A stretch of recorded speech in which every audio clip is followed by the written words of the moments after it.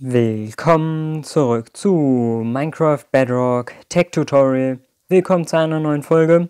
Heute zeige ich euch quasi, wie man in die Add-on-Erstellung einsteigen kann. Ich will so eine kleine Einführung machen, so eine kleine Übersicht, euch Ressourcen zeigen, wo ihr euch quasi Wissen aneignen könnt und ähm, ja, Websites, die ich dann benutzen werde, um Add-ons zu erstellen. Dazu werden wir tatsächlich nicht lange hier in Minecraft drinnen bleiben, sondern gehen tatsächlich ziemlich schnell wieder raus. Zunächst aber erstmal gehen wir hier auf Einstellung und dort möchte ich euch was zeigen, was es unglaublich leicht macht, ähm, Add-ons quasi zu debuggen. Wenn es quasi Fehler gibt, kann man die ganz leicht wieder beheben. In die Einstellungen gehen wir auf Ersteller und dort schalten wir einfach diese drei ähm, ja, Einstellungen an. Einmal Benutzerschnittstelle zum Kopieren von Koordinaten aktivieren. Das werden wir nicht so stark verwenden, aber an sich kann man hier quasi die Koordinaten von sich selber ähm, an jedem Punkt in der Welt kopieren. Wenn es irgendwelche Fehler gibt mit ähm, Rotation von Blöcken oder mit irgendwelchen Monstern, die sich an irgendwelchen Orten äh, komisch bewegen, daher kann es immer ganz nützlich sein. Ähm, man kann es hier irgendwie irgendwo umstellen, keine Ahnung wo, jedenfalls. Ähm, hoppla. Jedenfalls gibt es noch zwei weitere Einstellungen die ich euch zeigen möchte, die auch super nützlich sind. Und zwar einmal die Log-Datei für Inhalte aktivieren. Das bedeutet quasi, wenn euer Add-on irgendeinen Fehler hat und das Spiel das nicht richtig laden kann, dann werden diese Fehler quasi gespeichert in, ähm, im Minecraft-Ordner unter Logs und dort könnt ihr die dann quasi aufrufen, könnt die Datei sehen, ähm, könnt quasi Fehler abarbeiten und das quasi ähm, reparieren. Beziehungsweise könnt ihr das auch gleich so machen mit der Log GUI. Wenn man die aktiviert, dann wird hier unter anderem dieser Knopf aktiviert, äh, Content Log Verlauf, was an sich auch ganz nützlich ist. Dann wird es hier direkt angezeigt, ihr könnt es auch direkt kopieren. Und zusätzlich, wenn ihr quasi eine neue Welt öffnet ähm, und quasi Add-ons da drin habt, wenn es einen Fehler gibt, dann werden die Fehler links oben am Bildschirm angezeigt. Das heißt, ihr seht sofort, okay, es gibt einen Fehler dann könnt ihr im Spiel selber noch auf Einstellung gehen, auf Ersteller, Content-Log-Verlauf und dann seht ihr halt die Fehler, die ihr habt und könnt sie direkt kopieren, bearbeiten, ähm, ausbessern quasi und dann habt ihr ein besseres Add-on mit weniger Fehlern. So, soviel zu Minecraft. Jetzt gehen wir rüber in einen Browser und ähm, dazu drehen wir einfach mal den Bildschirm, da ich das ein bisschen bequemer finde. So, da sind wir in Opera. Ich schiebe das hier mal kurz um in die Ecke. Wir haben vier Websites, die wir uns anschauen werden. Einmal GitHub, ähm, einmal Bedrock Wiki, Blockbench und Bridge. Die beiden werde ich heute nicht so genau erklären. Ich werde einmal reingehen und ein bisschen was zeigen, aber das wird erst in zukünftigen Videos drankommen. Grundlegend erstmal die beiden und da schauen wir uns erstmal GitHub an.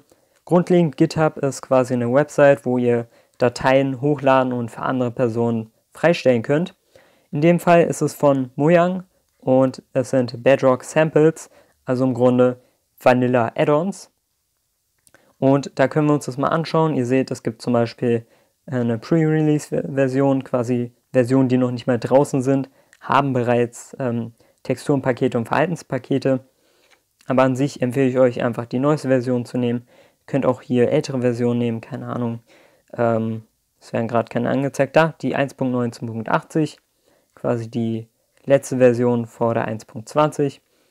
Jedenfalls haben wir hier die neueste Version und da haben wir zwei Assets, einmal als ZIP, einmal als tar.gz.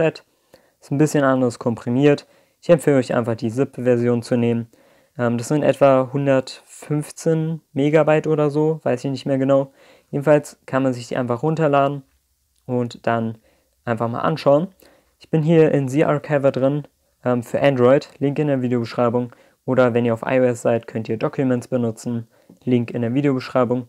Jedenfalls, wenn ihr das hier drin dann entpackt, habt ihr einen klitzekleinen Ordner äh, mit ein paar Sachen drin. Die beiden hier unten sind relativ irrelevant, Lizenz und README. Die braucht ihr nicht wirklich für das, was wir machen. Wir schauen uns quasi an, wie so ein Add-on aufgebaut ist. Und grundlegend, ein Add-on ist ein Texturenpaket und ein Verhaltenspaket zusammen. Ja? Beide zusammen bilden ein Add-on. Das heißt, wenn ihr irgendeinen Ordner habt, ein Ressourcenpaket drin habt, ein Verhaltenspaket drin habt, dann habt ihr automatisch ein Add-on. Es gibt hier noch eine, einen weiteren Ordner, der heißt Dokumentation. Den schauen wir uns gleich an. Erstmal zum Ressourcenpaket.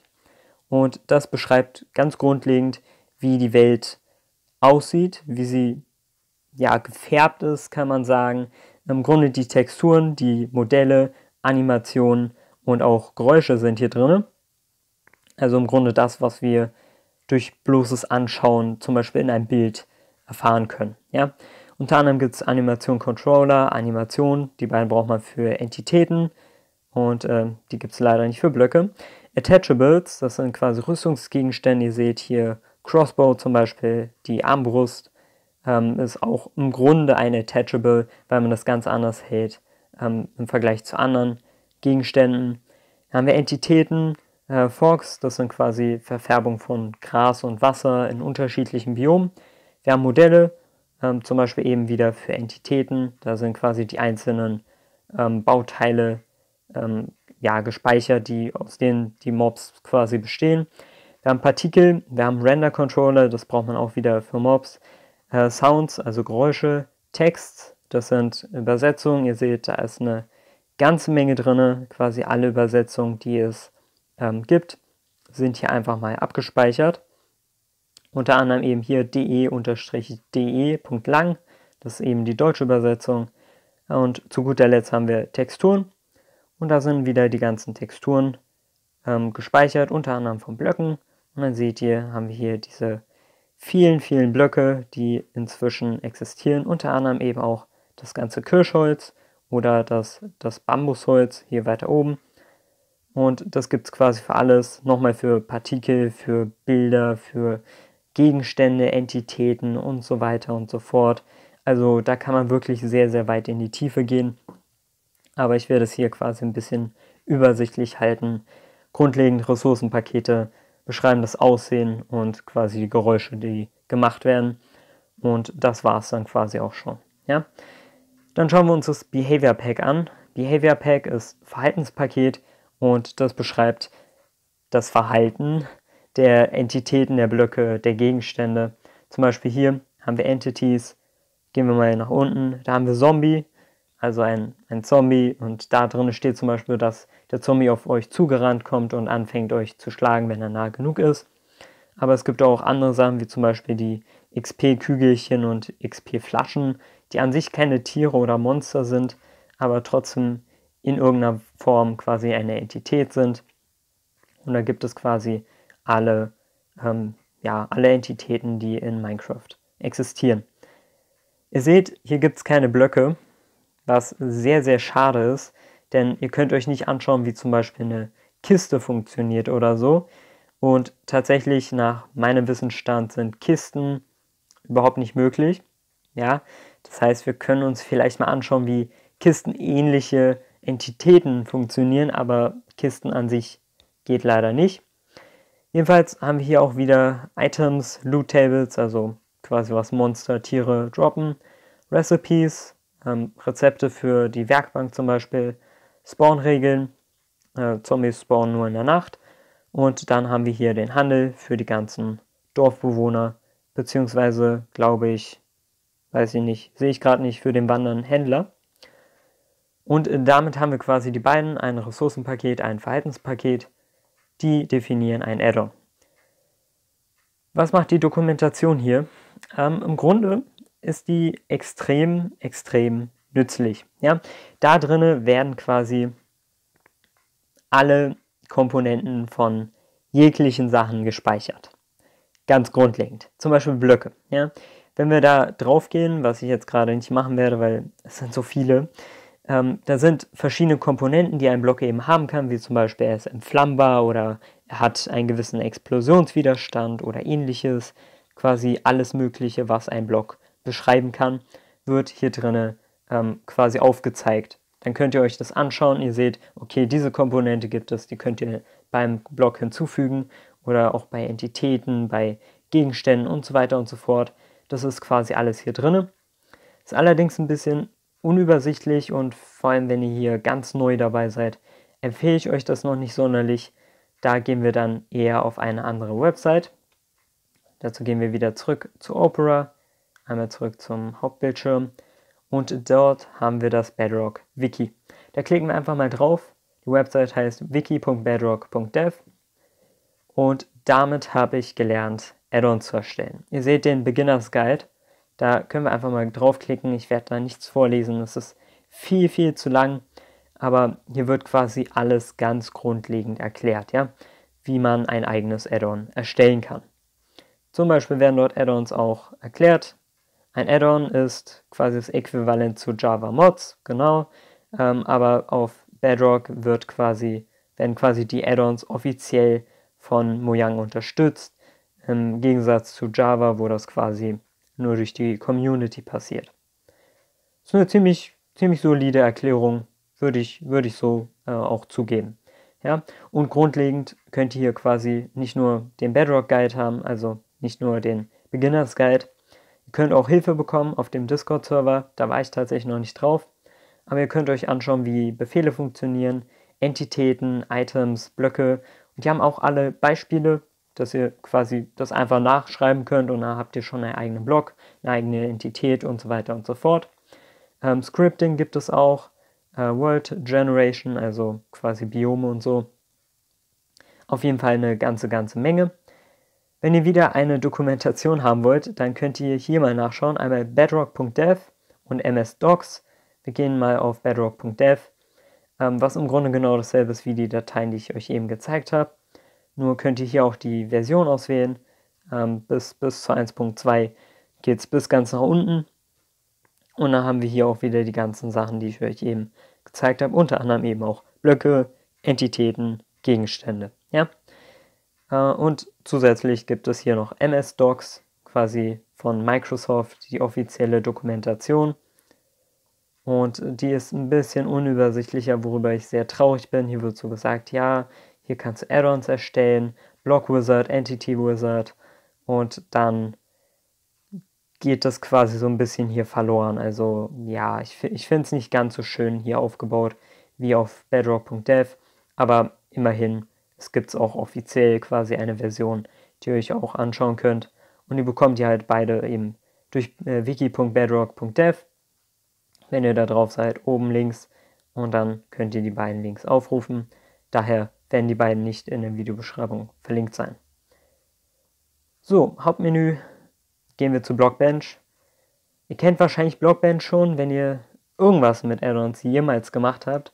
Selbst wenn ihr äh, Java-Mods hattet und euch angeschaut habt, dann kennt ihr das wahrscheinlich auch, denn Blockbench wird von beiden Versionen vom Spiel genutzt. Ihr seht Java Item Block, Bedrock Entity, Bedrock Block, Entity Modell, äh, Model für Mods Optifine Entity Minecraft Skin. Heißt im Grunde jedes Modell, was ihr machen wollt in irgendeiner Form, kann man hier erstellen. Wir gehen einfach mal ganz kurz auf den Blog. Da werde ich nicht großartig was machen, dazu kommt im zukünftigen Video noch ein genaues Tutorial. Ihr seht jedenfalls hier haben wir diesen ja, kleinen Plan. Dann können wir hier hingehen zum Outliner und können einen Block erstellen. Seht ihr, dann können wir den hier mit den verschiedenen Achsen verschieben können ja auch größer machen mit dem ähm, Vergrößerungstool hier quasi. Ja, Größe ändern heißt es. Und dann können wir das quasi so groß machen, wie wir wollen. Die maximale Größe für Blöcke beträgt äh, 30 x 30 x 30 Pixel. Das heißt, größer als das darf der Block quasi nicht werden. Und zusätzlich, der Block darf quasi nicht, nicht viel weiter rausgehen aus diesem Feld als äh, irgendwie 2 Pixel oder so. Irgendwie ist es gerade ein bisschen anders, keine Ahnung. Jedenfalls, das war es quasi zu diesem klitzekleinen Einführungstutorial. Ich weiß, das war quasi gar nichts. Spielt einfach mal rum. Hier könnt ihr ganz viele verschiedene Modelle machen. Ihr könnt noch mehr Würfel hinzufügen. Seht ihr, da kann man einfach nochmal sowas machen. Und dann, keine Ahnung, hat man hier schon einen Fisch oder so zusammengebastelt. Ähm, ich weiß, die Kreativität lässt hier sehr viel freien Lauf. Das ist natürlich gar kein Fisch, aber ich denke mal, ihr versteht, was ich damit meine. So, wir verlassen das einfach und zu guter Letzt schauen wir uns Bridge an. Da klicken wir auch einfach mal drauf. Und Bridge ist dafür da, um das Add-on zu erstellen. während wir quasi auf, ja, auf Blockbench nur die Modelle gemacht haben für die Blöcke oder die Entitäten, ähm, haben wir hier quasi dann das eigentliche Add-on, wo wir unter anderem eben auch ähm, die, Verhalten, ähm, die, die Verhaltensdateien von den Blöcken, von den Entitäten erstellen. Dazu können wir auf Create Local Project und da werde ich jetzt hier ganz schnell durchgehen, irgendwas zusammenschustern. Da können wir irgendeinen wilden Namen eintippen. GFG ist natürlich ein schöner Name und ein GG als Projektautor. Können wir auf Erstellen gehen und dann kriegen wir im Grunde schon ein gesamtes Add-on quasi vorgelegt, wo wir dann alles Mögliche bearbeiten können. Ihr seht unter anderem Entitäten, da ist zum Beispiel der Spieler schon gespeichert. Äh, Funktionen gibt es, Loot Tables, Text. Im Grunde genau das, was ich euch eben im ähm, Vanilla Add-on schon gezeigt habe. Nur kann man hier eben noch neue Sachen hinzufügen. Auf New File gehen. Und dann kann man hier alle möglichen Sachen machen. Blöcke, ähm, verschiedene Entitäten. Ja, hier Standardentität quasi. Gibt es Kühe, gibt es Delfine, Geister und so weiter und so fort. Ähm, es gibt auch Gegenstände wenn ihr eine andere Einstellung noch einstellt, dann kriegt ihr hier quasi auch Schwerter vorgeschlagen und Spitzhacken und so weiter. Und das geht hier quasi bis ganz nach unten mit Rezepte oder keine Ahnung, Animation Controllers oder ähnliches. Also ihr seht, da kann man schon eine ganze Menge mit anfangen. Und die werden wir auch alle benutzen, also Blockbench und Bridge. Und falls ihr die quasi auch offline benutzen wollt, dann geht ihr mal hier oben auf die drei Punkte, einfach nach unten. Ähm, bei verschiedenen Browsern könnte es ein bisschen anders sein. Ich bin hier auf Opera, daher zeige ich es bei Opera. Ähm, hinzufügen zu und Startseite. Wenn wir da draufklicken, wird das quasi auf dem Hauptbildschirm angezeigt. Und dasselbe können wir auch nochmal mit äh, Blockbench machen. Wenn wir da draufklicken, können wir genau dasselbe machen. Einfach hier drauf. Und wenn wir dann einmal kurz rausgehen, dann werden die auch hier angezeigt. Ihr seht Blockbench, ihr seht Bridge. Also ganz einfach, ähm, ja, die auf dem Hauptbildschirm hinzugefügt. Und dann müsst ihr nicht jedes Mal die Website öffnen, nur um die beiden Sachen aufzurufen, sondern könnt das eben die ganze Zeit machen. Wenn ihr auf dem PC seid, könnt ihr die übrigens als Programme runterladen, also für iMac, für Windows und für Linux. Ähm, da sind die verfügbar. Ich werde das jetzt nicht genau erklären, ich bin hier auf Mobile, das bringt mir tatsächlich gar nichts. Wenn ihr auf Mobile seid, wie eben schon erklärt, könnt ihr es euch einfach abspeichern und einfach nutzen. So, ähm, das war es im Grunde mit dem Einstieg. Ich empfehle euch, ladet euch die neueste Version vom ähm, Vanilla Addon herunter. Schaut euch ein bisschen im Bedrock Wiki um, lest mal ein bisschen ein paar Seiten hier und da, ein bisschen durchblättern. Ähm, ich empfehle euch die, die Blog, quasi den, den Blog-Kapitel, denn das werden wir uns in der nächsten Folge anschauen, quasi ganz grundlegenden Block werden wir machen. Ähm, Blockbench könnt ihr ein bisschen rumspielen, Bridge könnt ihr ein bisschen rumspielen, ähm, könnt ihr gerne alles kaputt machen und dann wieder zurücksetzen. Ähm, jedenfalls, das war es dann quasi mit der Folge. Ich hoffe, es hat euch gefallen. Wenn ihr mehr wollt, dann lasst ein Like da und ein Abo, um nichts mehr zu verpassen. Wir sehen uns dann im nächsten Video wieder. Tschüss.